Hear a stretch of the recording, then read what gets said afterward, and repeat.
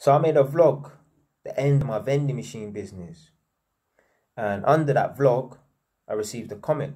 Why did you neglect your vending machine business? Just before I get to that, just a quick briefing on how I started the vending machine business. So I'm an electrician. I decided, you know what? I want to further my knowledge. I'm going to decide to go to uni and study at HNC in electronic engineering. When I got to this campus, it was tiny. There were no vending machines on site. There was no canteen on site. Literally, our canteen was the high street. So one day I was in the library and it was a self-study period, which means go on the internet and basically surf the net and do nothing until your next lecture. I'm in the library and I thought to myself, you know, I wonder how much it costs to buy a vending machine. Like, you know, whether it's secondhand or brand new. Well, I found out you can all spend 3,000, 5,000, 10,000 for a secondhand one. For a brand new one, you can pay 20,000. But obviously, these are going to be the, the best of the best vending machines. But I saw one vending machine for about a thousand pounds. So I thought, you know what, like I could afford this. I got a couple grand in my account, I can afford this. So I approached the manager of the uni and I said to him, listen, like, you know, I know we ain't got no canteen on site and the shops around the corner, but sometimes you might not even want to have to leave the campus. You might just want to, you know, buy something on site. I was like, how about I buy a vending machine and install it? He liked the idea of it, but he was a bit reluctant at first because there was a separate company before I was at the uni. Apparently, they had a vending machine there and they never maintained it. it used to leak water, used to break down, and never used to maintain the vending machine.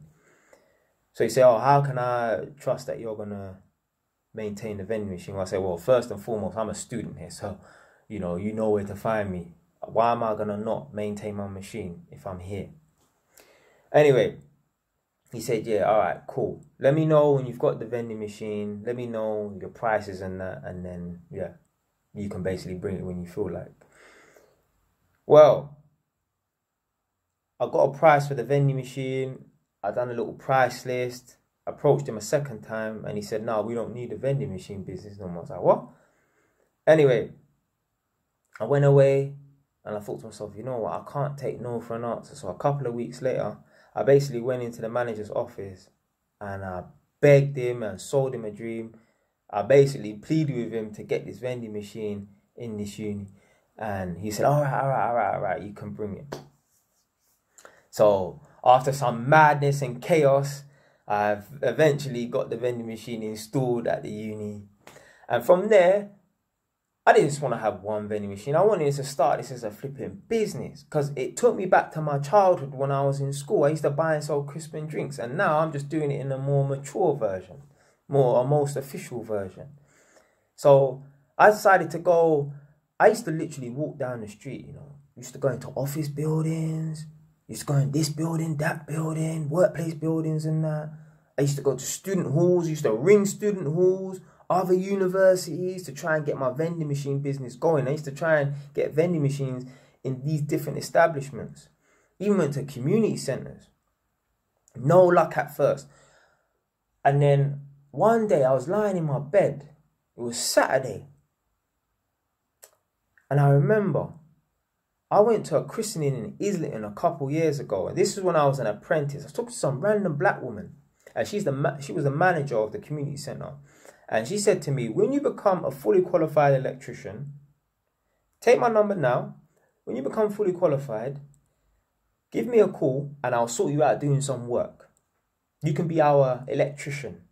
You can be our maintenance electrician for this whole building, so long as you know what you're doing, obviously. And I remember I had her number. And I thought, you know what? Let me call her. Forget about the electrical thing. I want to start a vending machine business. Now, let me call her and see if I can get a vending machine inside this community center. Call the number. I think the number you, you have dialed is not being recognized, which means that person no longer uses that number anymore. So, me, I don't take no for an answer. Although I didn't get a no, still, I decided, you know what? I'm going to go down there. jumped on a motorbike, went straight down to Islington. Yeah, this was on a cold call, you know, literally. It was a Saturday.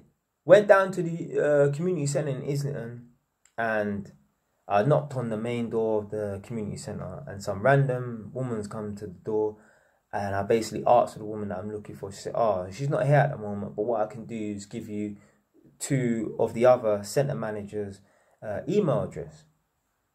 Gave me an email. I sent both of them the same email about the vending machine business, whatever. They liked the idea of it. They called me in for a little meeting, had the meeting, again, sold them the dream, whatever. Bought a second vending machine and installed it at the community centre. Now, fast forward about three years. The last job I was at, I was earning big boy money. Yeah. £360 a day. And I was working at this workplace in Holborn every single day for about four and a half months straight. I took one day off in four and a half months, you know, one day off to do an exam because it was flipping important. It was to do with my electrical qualification. And I had a few days off during the Christmas period because it was compulsory. If I could have came in, I would have. And even then, I still came in for three days on on uh, emergency call. But anyway, I neglected the vending machine business because first and foremost, I had to get rid of the vending machine at my uni. So I was down to one. At, at, at a time, I had two vending machines. Yeah? Had one at my uni, had one at the community centre in Islington. And I had to get rid of the one at the uni because they moved campus and they didn't want to bring the vending machine. They were going to have another company manage it. Cool. Stuck that one in storage. Cool. But then the one at community centre, I never made that much money. Uh, maybe a couple hundred pound a month or something like that. And I was so busy at this construction site. Remember I'm the supervisor. I'm working there from 8 a.m. to 8 p.m. Monday to Friday, Saturday and Sunday, 8 a.m. to 5 p.m. The next Monday to Sunday, yeah, rolling, yeah, Groundhog Day, yeah.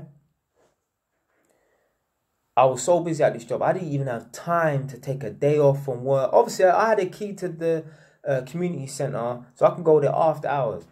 But I just didn't bother go. Like I was earning so much money, it wasn't even worth my time. Literally, literally, I was earning three hundred and sixty pound a day. Imagine, there's thirty days in a month. Thirty days in a month, you know. I was earning three hundred and sixty pound a day I was turning over about 10 grand a month. So my vending machine, in a month, it would generate me about 200 pound, 100 pound or whatever. That's over a 30 day period. 100, 200 pound. I generated more in one day at work than 30 days from that vending machine. One day work, you know, 360 pound. 30 days, 200 pound. Do the maths. Literally. So it just weren't my, it weren't worth my time. I was earning so much money from this workplace. It just weren't even worth my time to take a day off or even go there after work. Like the maths is just the numbers are so crazy. I was earning from this workplace. It, it, it, it was a joke. Compared the vending machine was a joke to how much I was earning. Literally the money that I earned over a four and a half month period, yeah, like a man saved like easily 25 grand. Listen, guys, it's flipping November right now. I got fired at the end of January. So I've been off since February. A solid nine months, you know. I haven't worked because I earned so much money from this construction site. This is what I'm saying. This is what I'm saying, guys, about make sacrifice. But I earned so much money from this workplace, it would have taken me years. That vending machine would have to have been at that community center for years. Years. To accumulate the same amount of money that I made in four and a half months at this construction site. So you know what? I just abandoned it. I abandoned it. I was so focused on this job, I, I abandoned the vending machine. I think at first it needed topping up. Obviously, I wasn't even paying attention to it, forgot about it. Next thing I know, the thing's broken down. And the community center managers, they didn't contact me to let me know that it broken down. So they'd seen that the vending machine had broken down. And what they used to do, they used to put a sign, oh, do not use the vending machine because it's broken down. And they've seen, oh, a month's gone by and the vending machine hasn't been fixed. Because I used to fix it myself. Usually when the vending machine breaks, it's just some silly little thing that I can fix myself. Rah, Jay hasn't been here for a whole month to fix the vending machine. So therefore, he has not topped it up. And then eventually they either sent me an email or phone call or text and said, listen, man, we just want you to, to remove this vending machine now because you're not maintaining it. I said, oh, no problem. All I was thinking about this this this is how much I did not care about this vending machine in this particular establishment. All I was thinking about is I hope this don't affect I hope this don't stop me from uh, going into work. I, you know, I had to use someone reliable that I know to remove the vending machine. I had to pre-book uh, a storage unit because I didn't even want to take a day off work. That's how much money I was earning. It wasn't even. That's how much money I was earning from this workplace. It wasn't even worth me taking a day off work to remove this vending machine. Literally, I know a man, I paid him about £100 to remove the vending machine and stick it in storage. If that vending machine, obviously that vending machine cost me about £1,560. If that vending machine was only worth £100, I would have just told the, I would have just told the man who I got to pick up the thing, just dispose of it. I wouldn't even have bothered to stick it in storage. Because that £100, I'll earn that in three hours. That's just three hours overtime for me. What's the point? So that's why I neglected the, the vending machine business. It just it just wasn't even worth my time to go and maintain it and fix it. Because of how much money I was earning at the time. Like compare compared to something like this. Imagine you're a footballer and you're on I don't know, 100 grand a month or something like that, however much these men get paid. Imagine you have a property that's up in the north of England that you bought a very long time ago and it's only earning you £300 a month in rent. You're not going to really care about it.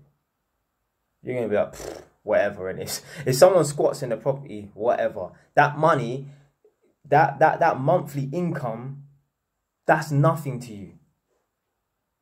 And that's that that's how I just looked at that vending machine. In that establishment, it was just in the wrong place. That's that's what was the problem. The problem was it was in the wrong place. They had a low footfall rate, but it was, I just found it too difficult to get it in other establishments. Like I, as I said before, I went to like uh, student halls and stuff, had a presentation, they liked it, and then I went to some place, I can't remember what it was called, not Newlon Housing, but it's one of them housing associations. They run student accommodation halls. And I gave them a presentation. They liked it. I had three people. Two were in the room with me, and one was on a phone call. He was elsewhere, but he was on the phone. Listening to the presentation, they liked it, and the dumbest reason they gave me for not accepting my business proposal was we, we, we think your business is too small and we think that your business, your vending machine is going to rely on uh, the sales or something to generate money. I'm like, what? What? Like, it's so dumb. I can't even remember the excuse they gave me. It was just so stupid. It was like, oh, your business is going to depend on on on the sales that it makes. It, it was just so stupid. I couldn't believe it. I could not believe the excuse they gave me. Something dumb like my business is going to depend on the success of my vending machine. Oh, man. Anyway, so in a nutshell, that's why my vending machine, I neglected the vending machine business. It just weren't worth my time. It just was not worth my time. £200 a month. And I'm earning more than that in one day. so, but anyway, I bought the vending machine from a place called Pure Food Systems. I will leave uh, a website link in the description below, or at least the company name anyway. But I'm sure I'll be able to get a website link. I'm assuming the company's still running as well. Uh, obviously, it's during the lockdown period. It's like the 4th of November right now. Um, but I'm assuming the company's still going to be up and running after lockdown. So that was a good question from the viewer. Why did I neglect my vending machine business? In a nutshell, I neglected it because it just wasn't worth my time. I was earning so much money that that little two hundred pound, um, that little two hundred pound at the end of the month was it even worth me chasing after. Stay wise.